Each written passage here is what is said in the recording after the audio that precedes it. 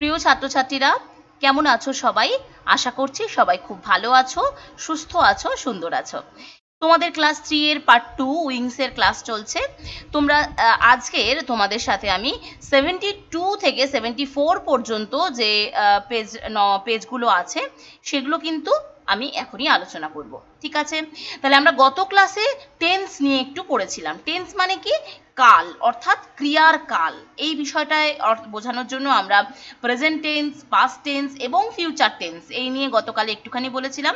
তারই বেশ কয়েকটা ক্রিয়াপদ বা ভার্বের রূপ এখানে দেওয়া আছে। এটা হচ্ছে বর্তমানকালের এটা হচ্ছে অতীতকালের প্রথমে দেখো হাইট থেকে অতীতকালে হলে হবে hit H I D meet থেকে মেট হবে। আচ্ছা ব্রিং থেকে ব্রট হবে B R O U GST bring ঠিক আছে? এবার থেকে এটা ব্রট হবে। ফাইট থেকে ফট হবে F O U GST put থেকে পুট হবে পুটের কোনো চেঞ্জ হবে না। কস্ট থেকে কস্টই হবে, এটারও কোনো চেঞ্জ হবে না। ডিল থেকে ডিল্ট হবে D E A L T dealt learn থেকে লার্নড হবে এল ই এ আর এন টি ঠিক আছে? তাহলে দেখো বর্তমানকালের রূপ এবং অতীতকালের রূপের যে পার্থক্য আছে সেটা বুঝতে পারছ। আবার কিছু কিছু ক্ষেত্রে কিন্তু বর্তমান এবং অতীতকালে ক্রিয়ার যে রূপ সেটা কিন্তু প্রায় একই রকম। ঠিক আছে? এবার তোমাদের এখানে সেই যে ওয়ার্ড দেওয়া থাকে, তার সিলেবিক ডিভিশন দেওয়া থাকে। সিলেবিক ডিভিশন মানে তোমরা জেনে গেছো যে কীভাবে সহজে উচ্চারণ করা যায় বিষয়টা ওয়ার্ডটা কতটা সহজে উচ্চারণ করা যায়? ভেঙে ভেঙে। সেটাকে সেন্টেন্সে ব্যবহার আছে এবং তার সিনোনিম সিনোনিম মানে কি? একই অর্থ ইংরেজিতে দেওয়া আছে। ঠিক আছে? ওইটাকে ইংরেজিতে আরও কীভাবে বলা যায় সেইটা এখানে বলা আছে। ওয়ার্ড দেখো প্রাউড সিলেবিক ডিভিশন একবারেই উচ্চারণ করা যায় proud I am proud to be an Indian আমি ভারতীয় হিসেবে নিজেকে গর্ব অনুভব করি। মিনিং কি? ইংরেজিতে প্লিজড অ্যাবাউট ওয়ান সেলফ ঠিক আছে প্লিজড অ্যাবাউট ওয়ান সেলফ মানে নিজে নিজে খুব অনুভব, গর্ব অনুভব করি এই অর্থেই। হ্যাভিং তারপরে হাই ওপিনিয়ন ঠিক আছে, বা বাংলাতে বলে গর্বিত, ঠিক আছে? আচ্ছা এরপরে চলে যাই, চলো নেক্সট ওয়ার্ডে চলো, দেখো রিফ্লেকশন এটাকে সিলেবিক ডিভিশন করলে কি হবে রিফ্লেকশন মানে তিনটে ভাগে ভাগ করলে এটা ঠিকঠাক হবে। রিফ্লেকশন আচ্ছা ইউজ কি? I see my own reflection in a mirror ঠিক আছে?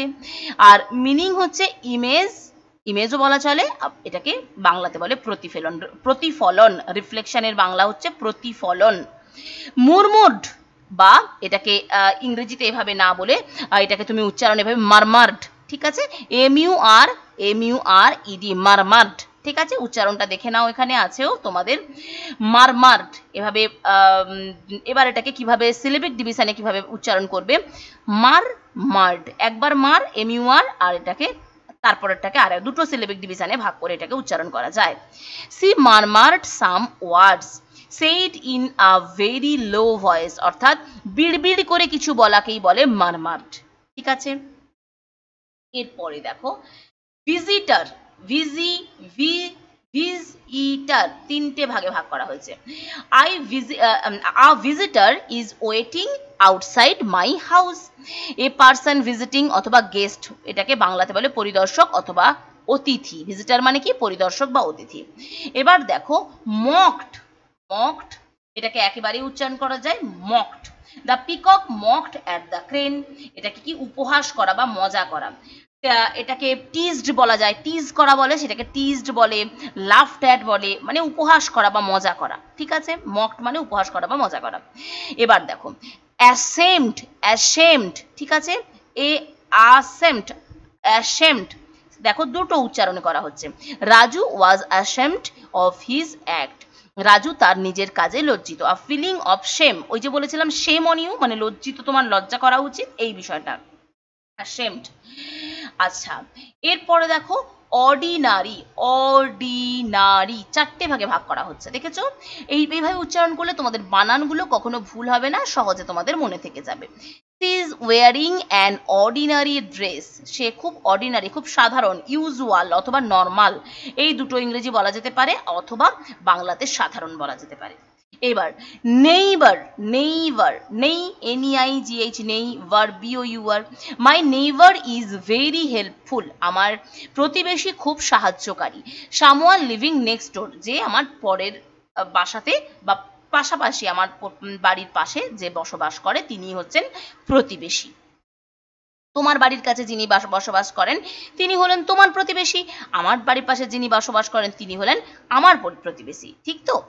আচ্ছা এরপরে দেখো, পরের পেজটাতে introduced introduced on my birthday I introduced my friends to my family আমি আমার জন্মদিনের জন্মদিনে আমি আমার বন্ধুদেরকে, আমার পরিবারের সঙ্গে পরিচয় করিয়ে দিলাম। পরিচয় করিয়ে দেওয়া মেড অথবা মেড নোন মানে জানানো। Display display she can display all her all her painting in in an exhibition এটা শো বা ব্রিং ইন টু ভিউ বা প্রদর্শন করা, ঠিক আছে? এরপর অ্যাক্টিভিটি সেভেনে চলে আসছি, ঠিক আছে? এটা হচ্ছে ওই জাস্ট মেলানো। এ এবং বি কলমটাকে মেলাতে হবে। দেখো murmured said in a low voice এটাকে ইংরেজিতে বলা হচ্ছে মকড মানে টিজড আচ্ছা ইন্ট্রোডিউসড মানে হচ্ছে মেক নো ঠিক আছে মেক নোন মানে জানানো। নেইবার নেইবার মানে হচ্ছে হু লিভস নেক্সট ডোর ঠিক আছে? তোমরা এতক্ষণ যেগুলো পড়লে আর কি, সেগুলো আবার তোমাদের চেক করা হচ্ছে। Display to show something reflection image reflection মানে প্রতিফলন অর্ডিনারি মানে নট ভেরি স্পেশাল মানে সাধারণ কিছু। Visitor who comes to he who comes to visit যে তোমার তোমার, যে ভিজিট করতে এসেছে। তাহলে কলাম এ এবং কলাম বির যা যা ছিল মোটামুটি তোমাদেরকে কিন্তু আমি করিয়ে দিলাম। ঠিক আছে? তাহলে সেভেন্টি ফোর পেজ পর্যন্ত হয়ে গেল। এর পরের ক্লাসে সেভেন্টি ফাইভ থেকে থাকবে ক্লাস খুব তাড়াতাড়ি তোমাদের পার্ট টুটা শেষ হতে চলেছে। তারপর আমি আবার ক্লাস ফোরটা স্টার্ট করব। ঠিক আছে? তাহলে ছোট্ট বন্ধুরা, আজকের এই পর্যন্ত থাকল। পরের ক্লাসে দেখা হচ্ছে তোমাদের সঙ্গে খুব তাড়াতাড়ি। ততক্ষণ তোমরা সবাই খুব ভালো থেকো, সুস্থ থেকো, আনন্দে থেকো। টাটা!